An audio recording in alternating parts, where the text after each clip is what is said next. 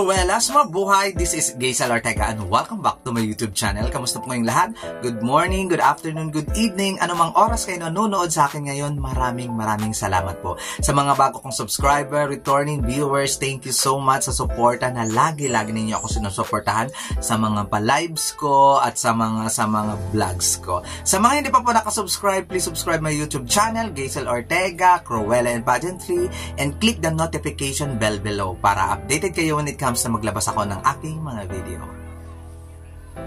Mabuhay, Cruellas! Napanood na ba ninyo ang aking top 10 sa preliminary interview? Ngayon, maglalabas din ako ng aking top 10 sa swimsuit competition. Sino ba nga ba ang kumabog? Sino nga ba ang bongga ang katawan? Sino nga ba ang confident magdala ng swimsuit, sino nga ba ang pinaka-bongga kumembot sa entablado sa swimsuit competition? Guys, grabe. I'm so surprised sa swimsuit competition talaga kung sino yung mga kumabog para sa akin. Kung sino yung mga bonggang-bonggang nagbigay ng plakadong performance when it comes sa swimsuit competition. Ay nako, number one, number one talaga. Number 10, on my list is Miss Surigao del Norte, Jaira Bitito.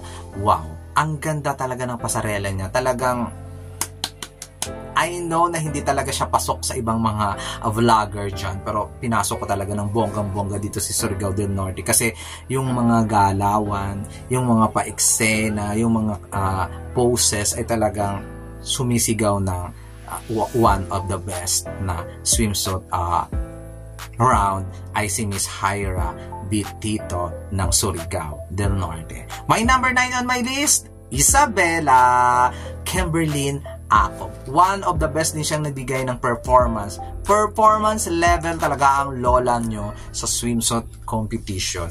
Um, nanghihinay lang talaga ako na hindi siya pansinin sa ibang mga ano, pageant fans and uh, pageant lovers ay talagang hindi talaga pinapansin. Dead ma talaga sila kay Miss Kimberlyn Ako. Ang ganda ng katawan, ang ganda ng swimsuit sa kanya, ang ganda ng kulay ng balat, talagang kabog na kabog ang tangkad pa. My number 8 on my list is Miss Bohol, Pauline Amelex. Si Pauline Amelex nagay ko lang sa number 8 kasi ang ganda din talaga ng eksena. Yung mga poses niya, very good Pauline. Super nag-improve ka talaga then last 2 years ay talagang pasabog ang yung swimsuit competition. Alam mo na ngayon kung paano uh, pag-pose na mukhang hindi maliit ay mukhang sexy katingnan. Uh, alam mo na ngayon kung paano yung mga angulo na dapat mong i-post, panalo ka doon. Kaya nilagay talaga kita sa aking number 8 kasi alam mo na yung mga poses na bongga. O, di ba? My number 7 on my list is Miss Batangas Karen Joyce olfato. At talaga lang naman ang bongga ni Miss Batangas. Talagang pinatunayan niya sa atin na bonggang-bongga din yung kanyang pasarela skills. At talagang pumipiya ang kanyang mukha ha. Napansin nyo ba? Kamukha siya ni Pia Back ng bonggang-bongga. Kaya grabe, grabe itong si Batangas. Uh, na-surprise ako na bongga. Although nakita ko naman sa runway challenge yung eksena niya. Kanya lang nakaano sila noon eh, naka-terno ano ba tawag doon? Yes, naka-Pilipinian na terno, pero dito sa swimsuit competition, pinatunayan niya sa atin na bonggang-bongga ang kanyang uh, pasarela skills. Kaya nilagay ko siya sa aking number 7. And my number 6 on my list is Miss Baguio City. Krishna Gravides. Oh my gosh. Isa siya sa talagang ang ganda ng katawan. Isa siya sa best pasarela. Yung walk, grabe ang galing ni Miss Krishna Gravides. At aminin naman natin, napakaganda. Ayoko lang talaga doon sa pag-sway-sway niya niyang kamay. Uh, masyadong distracting sa akin, sa mata ko, yung pag-sway niya masyado ng kanyang kamay. Kaya nilagay ko lang siya sa aking number 6. I'm so sorry sa iyo, uh, Miss Chris Nagabides. Pero isa siya sa pinakamagaling mag-walk dito sa mga uh, contestants sa Miss Universe Philippines 2023. At ngayon, papasok na ako sa aking top 5. Kung sino nga ba ang kabog na kabog dito sa top 5 sa swimsuit competition preliminary. My number 5 on my list is Miss Sambales. Sambales, ang ganda ng katawan, ang ganda ng eksena, ang ganda ng kurba, ang ganda ng lakad, ang ganda ng mga poses. Except sa pang eksenya na sa sarong hindi ko talaga bet yung mga uh, pahagis-hagis niya ng sarong. Um too much too much for me. Although nag ano na siya ha nag uh, ano tone down tama ba? Nag tone down na siya sa kanyang mga uh, pasarela kasi hindi na pang Miss Grand uh, eksena ikot-ikot dito walang ganon. Um pang Miss Universe ang kanya ano yun nga lang talaga yung sarong niya talaga hindi niya mapipigilan na ginagawa niyang baton ng mga margarette. Kaya nilagay ko lang siya sa akin number 5. My number 4 on my list is Miss Agusan del Norte Hanari Sarsoso. Wow! Talagang sabi ko sa inyo guys, once na lumakad si Hanari Sarsoso, talagang pinapatunayan niya sa akin at nagpe-perform talaga siya ng bonggang-bongga kasi nga hindi mo siya makakalimutan. Remarkable yung kanyang performance when it comes sa swimsuit. Talaga, talagang pinapakita niya, oy, watch me. At hanggang mamaya, maaalala mo pa ako. Ganon yung dating sa akin ni Miss Honey Ray Sarsoso ng Agusan del Norte. Kaya nilagay ko siya sa aking number 4. My number 3 on my list is Miss Makati City Michelle Marquez D. Sa swimsuit, ito yung best round ni Michelle D. Ang galing niya, ikot, turn, lakad, yung sway ng kamay, tama, bongga, panalo.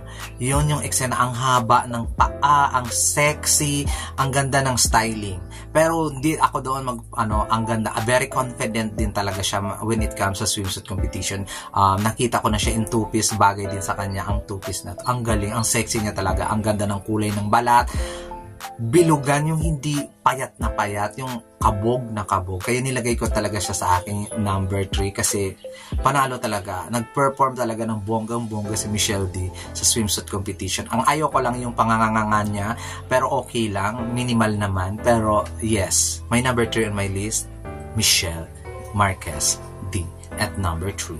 My number 2 on my list is Miss Davao Oriental Glaisa Castro. Wow! When it comes sa pasarela, top notch. Ayan ang sinasabing pang Miss Universe na pasarela, hindi yung too much. Yan yung sinasabing galawang sophisticated, galawang class, Glyza Castro. Ang bongga, ang ganda ng katawan, ang ganda ng kulay, medyo uh, skinny lang talaga siya ditong part, pero yung balakang, yung puwet, everything, ang haba, perfection kay Miss Eliza Castro. Talang kumabog talaga din siya ng bonggang-bongga when it comes sa swims. Alam niya kung paano i-turn, alam niya kung paano ipihit yung ulo at talagang panalo. Miss Eliza Castro ng Davao Oriental at my number 2. My number 1 on my list, hindi ko inaasahan to. Pero siya talaga yung nag-number 1 sa akin. Emmanuel Vera ng Cebu Province. Oh wow. Paglabas pa lang niya, panalo na. Yung the way na paglakad, the way ng posisyon ng kamay, the way na pag-post, ang liit-liit ng bewang mapapasana all ka na lang sa sobrang kaseksihan niya. Mapapasana all ka na lang sa sobrang galing niya maglakad at ginula talaga ako ni Emmanuel Vera na ganito ang performance niya sa swimsuit competition. Yung mga poses, galawang turn, smile, um, walk, everything about sa ginawa niya sa swimsuit competition, top notch kaya siya talaga ang number one sa akin. Grabe. Um, kung hindi man na-appreciate ng iba, pero kudos ha. Kudos kay Miss Emmanuel Vera. Binunggahan niya talaga ng bonggang-bongga at ayaw niyang magpakabog dito sa competition. Number one on my list sa swimsuit competition, Emmanuel Vera ng Cebu Province. Maraming maraming salamat guys at talaga lang naman talagang pinagpawisan ako sa eksenang yan sa swimsuit competition na yan. One of my favorite segment talaga ang swimsuit competition sa ano sa mga beauty pageant kasi nakikita ko yung confidence, yung walk, yung paano niya dalhin yung sarili niya na nakatupis lang one piece o di gano'n, di ba?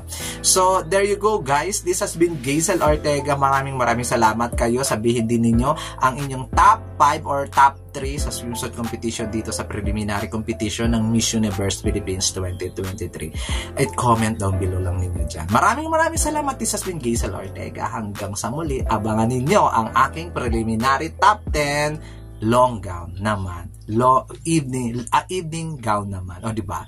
Maraming maraming salamat. Paalam!